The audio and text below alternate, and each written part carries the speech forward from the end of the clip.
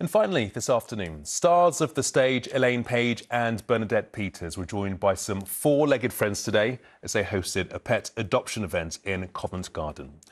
The West End Woofs event at St Paul's Church gave the public a chance to meet dogs up for adoption while raising money for animal rescue and shelter charities.